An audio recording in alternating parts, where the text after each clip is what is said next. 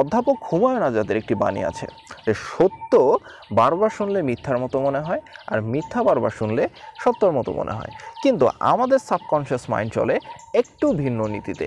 সে যা বেশিবার শুনবে, তাই সে বেশি পরিমাণে বিশ্বাস করবে।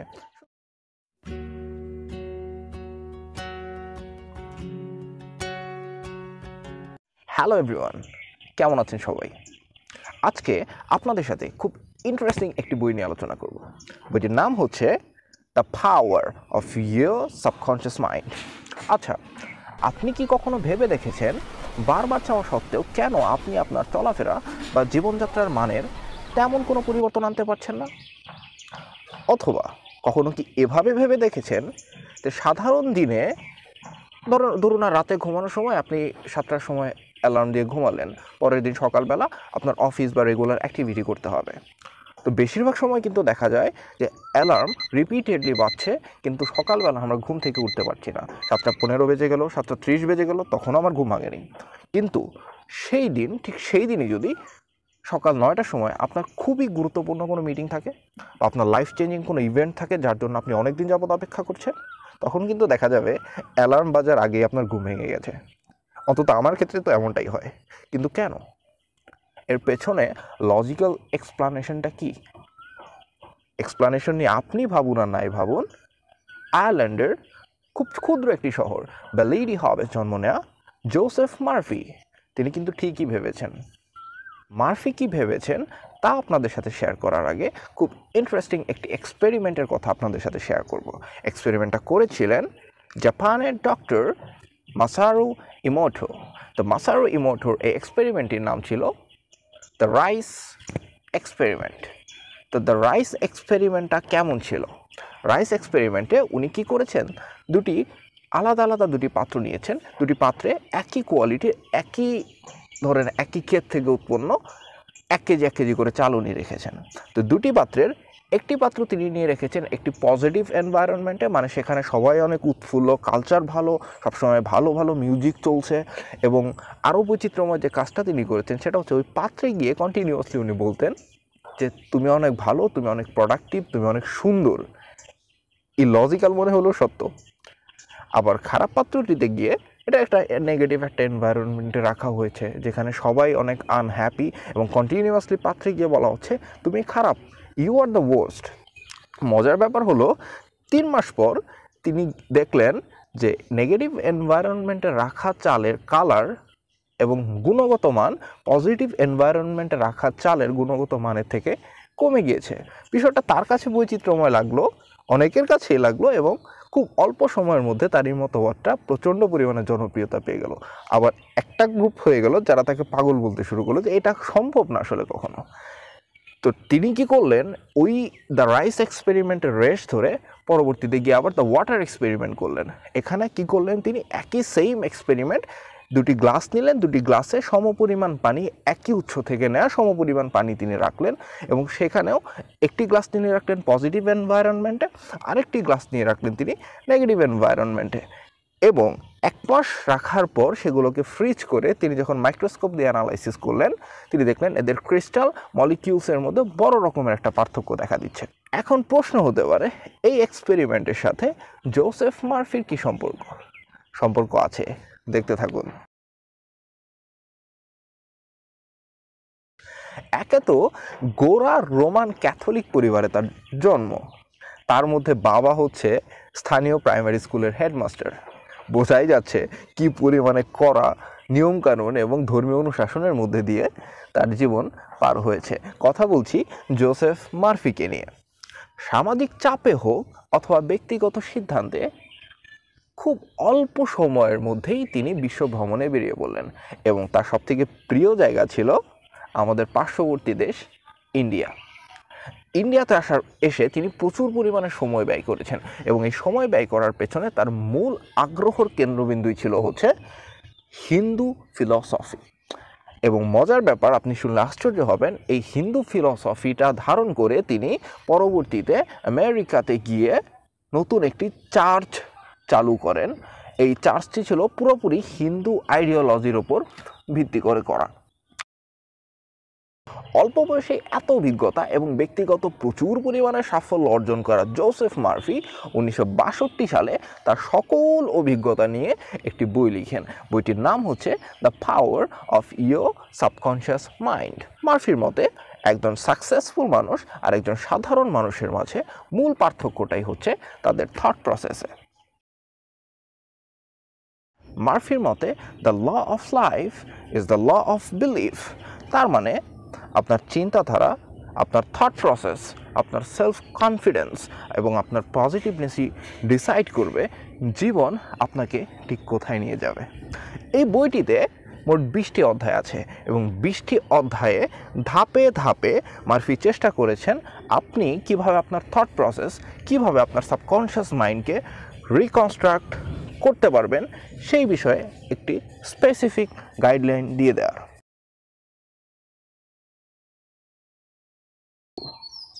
আপনি কি কখনো আইসবার্গ দেখেছেন?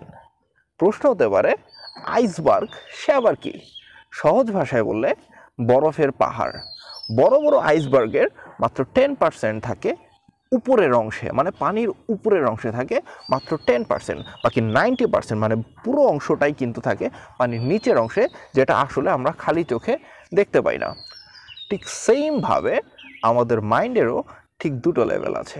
মাইন্ডের উপরের অংশ মানে বাইরে থেকে যা দেখা যায় মানে ওই টেন পার্সেন্ট হচ্ছে আমাদের কনসিয়াস লেভেল আর বাকি নাইনটি পার্সেন্ট মানে টোটাল কন্ট্রোল টোটাল মাইন্ডটাই হচ্ছে আমাদের সাবকনসিয়াস মাইন্ড যা বাইরে থেকে দেখা যায় না বা উপলব্ধি করা যায় না। উদাহরণ দিয়ে যদি বোঝাতে চাই, আমাদের কনসিয়াস মাইন্ড হচ্ছে এই যে আপনার ফেসবুকে বা আপনার ইউটিউবে এত ভিডিও সাজেশন থাকতে আপনি যে এই ভিডিওটি দেখার সিদ্ধান্ত নিয়েছেন। এই সিদ্ধান্তটা ছিল আপনার কনসিয়াস মাইন্ডের সিদ্ধান্ত। আর আপনার বায়োলজিক্যাল যে ট্রেডগুলো আছে, আপনার ইনার বিলিফ সিস্টেম আপনার ইমাজিনেশন আপনার ভিজুয়ালাইজেশন আপনার ইমোশন আপনার হ্যাবিট এই সকল কিছু হচ্ছে আপনার সাবকনশিয়াস মাইন্ড তো the treasure house within you এই কথার থেকে ট্রেজার হাউস শব্দটি শুনেই কিন্তু বোঝা যাচ্ছে লেখক এখানে ট্রেজার হাউস বলতে মূলত আমাদের সাবকনশিয়াস মাইন্ডকে বুঝিয়েছেন। মার্ফি মনে করেন, আপনার কনসিয়াস মাইন্ড যা বিলিভ করে, আপনার কনসিয়াস মাইন্ড যা ভাবে বা বিশ্বাস করে, আপনার সাবকনশিয়াস মাইন্ড তাকে বাস্তবে রূপ দেয়। দ্য ভিজুয়ালাইজেশন টেকনিক ইমাজিন করুন, আপনার সাবকনশিয়াস মাইন্ড একটি মুভি থিয়েটার এই মুভি থিয়েটারে আপনি যে যে মুভি দেখবেন, যে প্যাটার্ন যে ধরনের মুভি আপনি দেখবেন, ঠিক সেই ক্যারেক্টারগুলোই আপনি আপনার বাস্তব জীবনে ইমপ্লাই করার চেষ্টা করবেন। এটাই আপনি, তাই আপনি করছেন। যেমন, এক- একটি এক্সাম্পল দিই আপনাকে। একজন আর্টিস্ট যিনি অনেক ভালো ছবি আঁকেন, নতুন একটি ছবি আঁকার সময় বা তৈরি করার সময়, সৃষ্টি করার সময় কিন্তু প্রথমে তিনি কি করেন? তার মাইন্ডে মনে মনে সেটা ভিজুয়ালাইজ করেন এবং যখন উনি আঁকছেন, তখন ওই ভিজুয়ালাইজেশনটা সামনে এনে হুবহু তিনি কপি করার চেষ্টা করেন। অন্য, অথবা একজন মিউজিক আর্টিস্ট বা একজন কন্টেন্ট ক্রিয়েটর তারা যখন একটা কন্টেন্ট ক্রিয়েট করে কন্টেন্টটা ক্রিয়েট করার আগেই কিন্তু সেটা তিনি ইমাজিন বা ভিজুয়ালাইজ করে নেন। ঠিক যেমন, এখন আপনি যে ভিডিওটি দেখছেন, কিছুক্ষণ আগেও কিন্তু সেই ভিডিওটি ছিল জাস্ট একজনের ইমাজিনেশন আর এখন তা আপনার সামনে একটি কন্টেন্ট হয়ে চলে এসেছে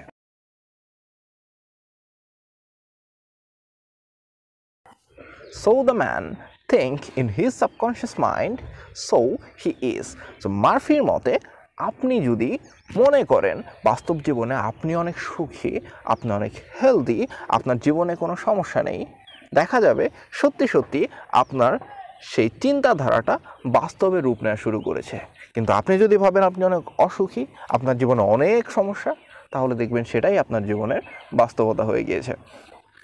এর কারণ হিসেবে মার্ফি বলেছেন, আমাদের সাবকনশিয়াস মাইন্ডের আসলে খারাপ বা ভালোর পার্থক্য করার ক্যাপাসিটি নেই। আমরা তাকে যা শেখাবো, তাই সে মনে করবে। যা শেখাবো, সেই অনুযায়ী সে রিফ্লেক্ট করবে। তাই সতর্ক হয়ে যান। আপনি আপনার সাবকনশিয়াস মাইন্ডকে কী শেখাচ্ছেন তার উপরই নির্ভর করছে আপনার ভবিষ্যৎ জীবন কেমন হবে। চলুন একটি উদাহরণ দেখে আসা যাক। আমেরিকার একজন অপেরা সিঙ্গার যিনি একটি রিয়েলিটি শোর জন্য তিনবার, পরপর তিনবার অডিশন দিয়েও সেই রিয়েলিটি শোতে উনি সিলেক্টেড হননি। চতুর্থবার যখন তিনি রিয়েলিটি শোর অডিশন দিতে আসলেন তার ঠিক দুই দিন আগে তিনি মার্ফির the power of your subconscious mind বইটি পড়লেন। তো উনি যা দেখলেন, তা হচ্ছে প্রথম তিনবার যখন তিনি অডিশনের জন্য গিয়েছেন, তখন তার সেলফ স্টেম বা সেলফ কনফিডেন্স ছিল অনেক কম। তিনি চিন্তা করতেন, এত এত ট্যালেন্টেড সিঙ্গার সেখানে আসছে, এত হাই কোয়ালিটির জাজ সেখানে, আমি কি পারব? এত লোকের সাথে কম্পিট করা কি আমার পক্ষে সম্ভব? হয়তো আমি পারব না। এই যে একটা নেগেটিভ সেলফ কনফিডেন্স নিয়ে প্রত্যেকবার তিনি অডিশন দিতে যেতেন এবং তিনি কি হতেন? সেখান থেকে ফিরে আসতেন ব্যর্থ হয়ে। এইবার যখন তিনি গেলেন, এবার তিনি চিন্তা করলেন, যাক, যা হারানোর তা তো হারিয়ে ফেলেছি। এবার আমি ফুল সেলফ কনফিডেন্স নিয়ে সেখানে যাব যে আমি পারব। আই অ্যাম দ্য বেস্ট তো তিনি গেলেন অডিশন দিতে এবং কি হলো? বুঝতেই পারছেন, তিনি এবার সফল হলেন। তিনি অডিশনে সিলেক্টেড হয়ে গেলেন।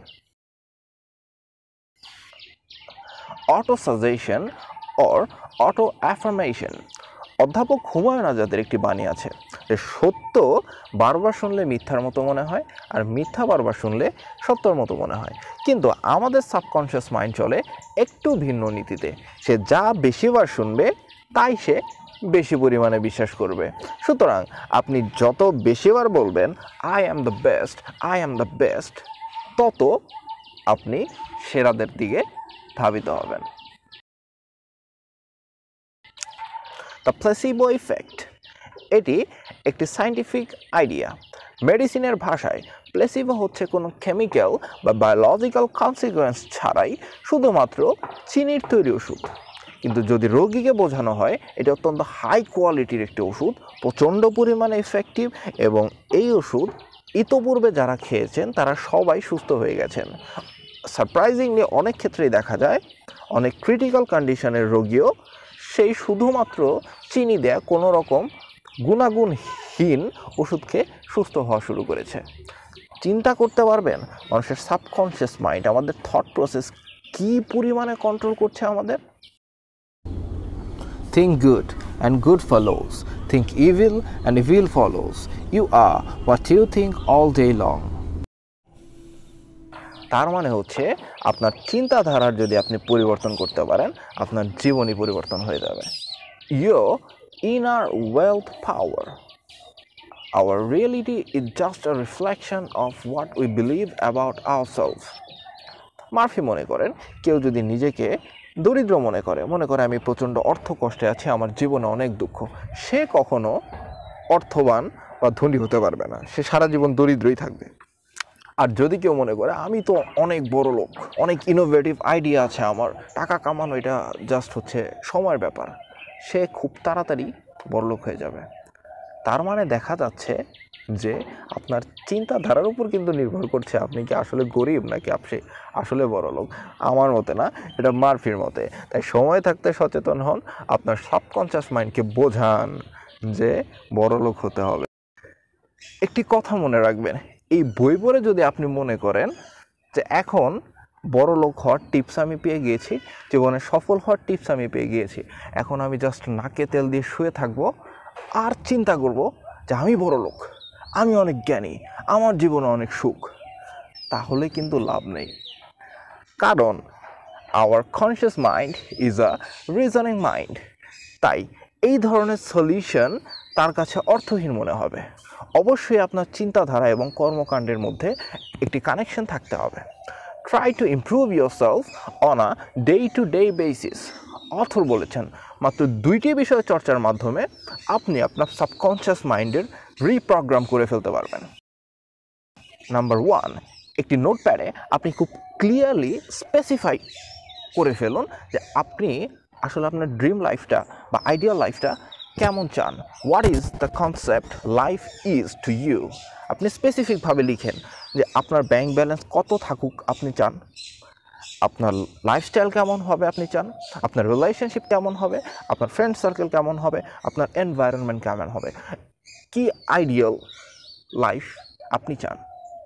সেকেন্ডলি প্রতিদিন ঘুমাতে যাওয়ার আগে এবং ঘুম থেকে ওঠার পর সেই নোটপ্যাডটি আপনি রিভাইজ করুন। আপনি ভিজুয়ালাইজ করুন।